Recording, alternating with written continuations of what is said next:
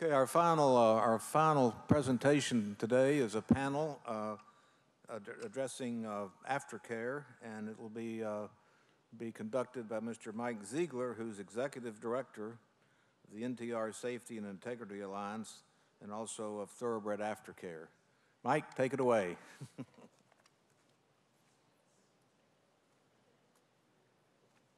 Thanks, Ed. Uh, thank you, everybody. Again, it's a pleasure to be here, and thanks for the Jockey Club and Grayson for putting on this great event. Um, and everybody who put in the hard work here, and thank you, Keeneland, for hosting. Aftercare is front of mind for people, which to me is a victory. Um, when I first started working for the NTRA Safety and Integrity Alliance in 2008, there was a lot of it's not our problem going on around the, uh, the industry.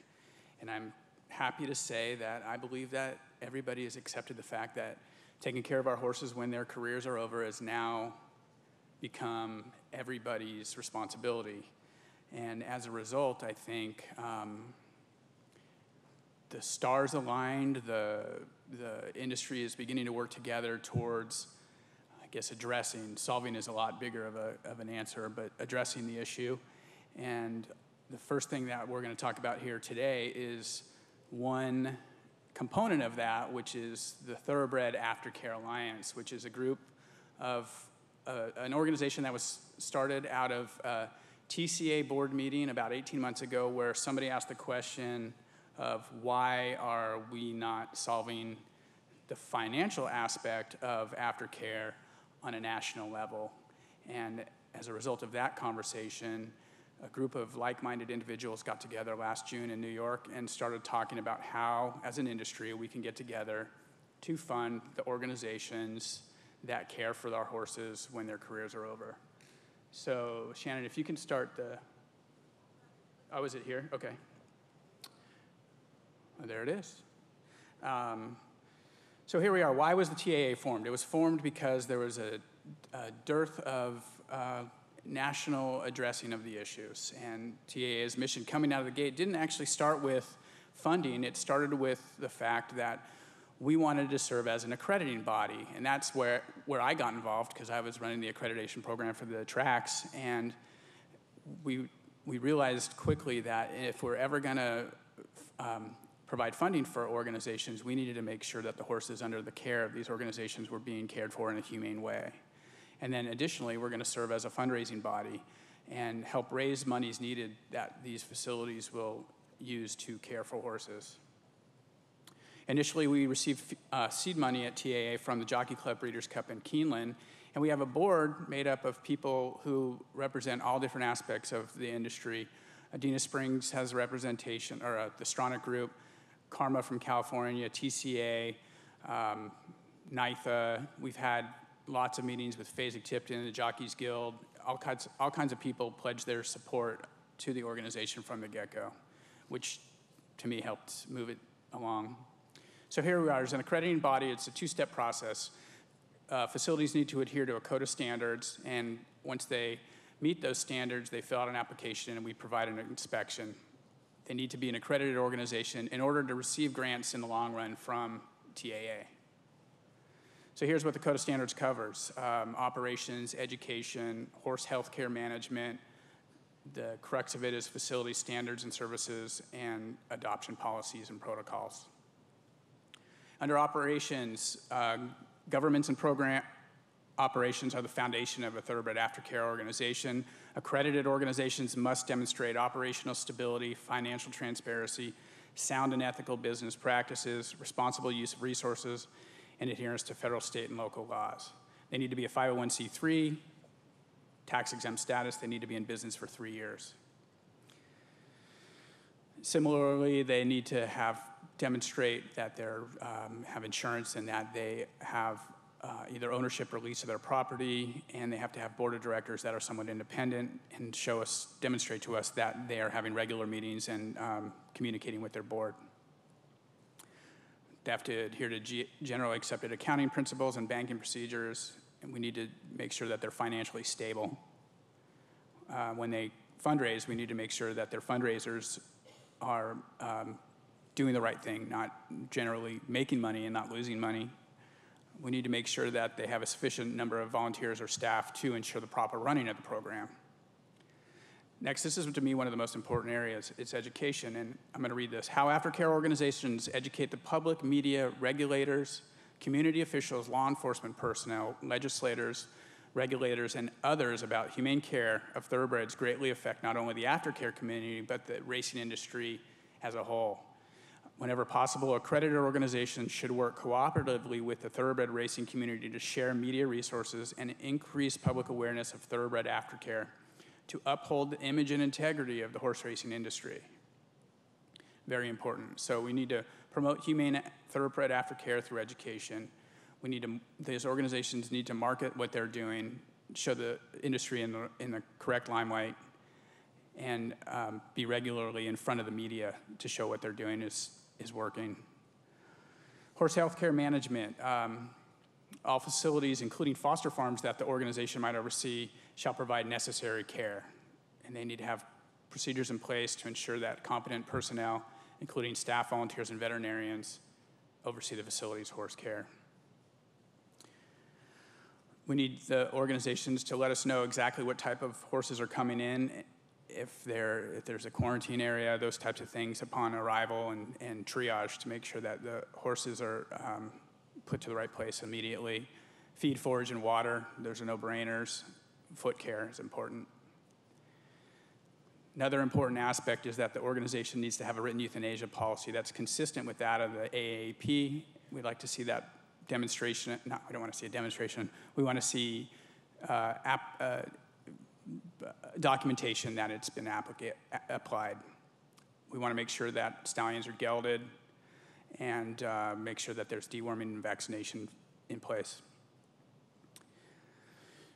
Obviously, facilities are going to be different based on the type of horse care that they're providing, so it's going to be based on a site inspection as to what we want to look, see the facility look like. If it's um, a function of uh, pasture only or stall space, we just need to look at it on a unique individual basis. Shelter, run-in stalls need to be um, safe and functional we're going to look at fencing, we're going to look at acreage per horse, and we're going to look at um, guidelines for evaluating the uh, opportunities for a horse for retraining and adoption. And again, uh, adoption protocols are very important. We, we can't take care of all the horses in, in pasture for the rest of their lives. We, we need to have a program and, and in, incentivize these organizations to have horses retrained and adopted in order to move more horses through the system. So standards are in place, application is the next step. It's pretty lengthy, it's pretty in-depth. Every organization will have to fill out a, a application for each of the facilities that they oversee. And basically what we want to see is that in writing, they want to, we want to demonstrate that they're adhering to this code of standards that we just went through. And then the next step, once we have an application in place, is we'll have an accreditation site inspection. And we've been fortunate enough to have cooperation from the AAEP, who is going to introduce us to veterinarians on a regional basis who will be able to help us inspect the sites and not incur a lot of costs by having travel expenses in place.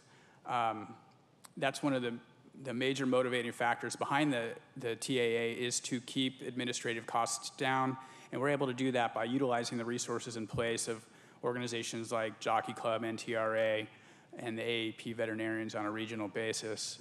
A lot of the work that's been done so far has been pro bono by people on our board. So the next big step is the TAA as a fundraising body, which once the accreditation standards were in place, we started working really hard on that. And, and I will read a quote from TAA board president Jack Wolf, who said, it's our responsibility as owners, tracks, breeders, trainers, jockeys, bloodstock agents, and anyone who has a stake in the game to, st- to take responsibility for the aftercare of these great animals that are the keystone of our sport. That's, that's the nuts and bolts of it. Um, we're going to raise funds for these accredited facilities via institutional contributions as opposed to uh, having you know, regular fundraisers. We don't want to supplant any of those regular fundraisers. We can't support all the horses without continuing the programs that are, that are actually working out there right now. But it, we're working on these automatic contributions from every touch point in the horse's life, which includes the stallion owners, the breeders, the sales companies, consigners and buyers at sales, the owners, trainers, jockeys, tracks, and the breed registries. Basically, in a nutshell, many hands make light work. So a small percentage of a lot of different contributions or a lot of, bit of, a lot of different transactions can help raise a lot of money to care for these horses. We never want to be overly onerous on any aspect of the industry, but we want all the industry to participate. So many of you might have read last week that we made an announcement of funding participation, uh, the initial funding participation. 13 of the top farms in Kentucky agreed to contribute the equivalent of a quarter of one stallion season yearly.